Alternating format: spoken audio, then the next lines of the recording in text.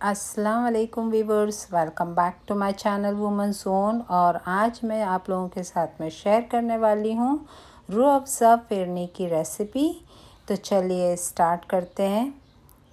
तो यहाँ पे मैंने ले लिया है तीन लीटर दूध। इसमें हमें बिल्कुल भी पानी ऐड नहीं करना है और जैसे ही ये गर्म हो जाएगा, पहले हम दूध को अच्छी तरह से गर्म कर लेंगे। और जब दूध गर्म हो जाए तो मैंने इसमें ऐड किया है राइस। यहाँ पे मैंने 250 ग्राम राइस ले लिया है चावल और इसे मैंने धो के सुखा लिया था। जब वो अच्छी तरह से सूख गए थे तो इसे ग्राइंडर में मैंने फाइन पीस लिया है। बस ऐसे जैसे रवा होता है, बिल्कुल उतना बारीक हमें पीस लेना है और उसी को मैंने ऐड कर दिया है दूध में।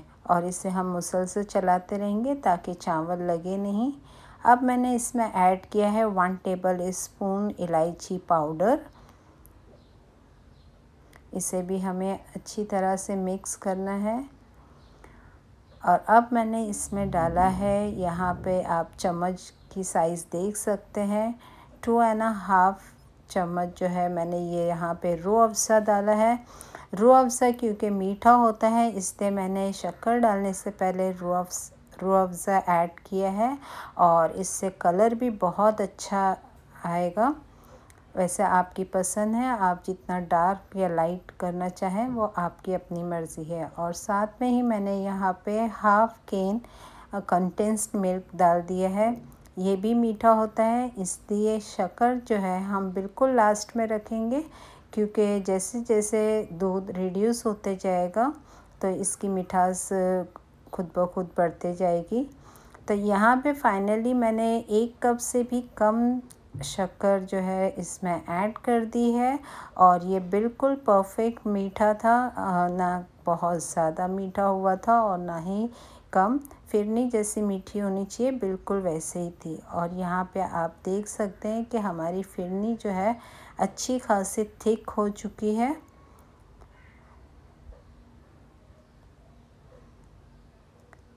और बहुत ही क्विक ये बन जाती है। फाइनली मैंने इसमें ऐड किया है टू टेबल स्पून के करीब रोज़ वाटर और हमारी फिरनी बिल्कुल रेडी है इसे सेट करने के लिए। तो यहाँ पे मैंने ले लिया है रोज़ पैटल एंड और चारोली और ये कंटेनर मैंने प्रिपेयर किया है ताकि हम जिसे भी देना चाहें बहुत इजीली दे सकें।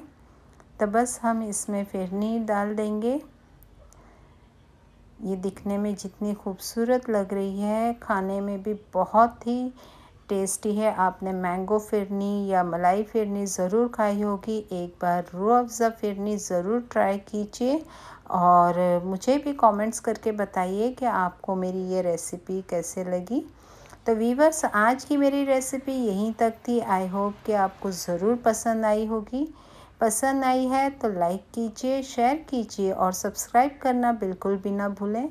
तो फिर मिलूँगी नेक्स्ट वीडियो में नेक्स्ट रेसिपी के साथ। तब तक के लिए अल्लाह हाफिज़।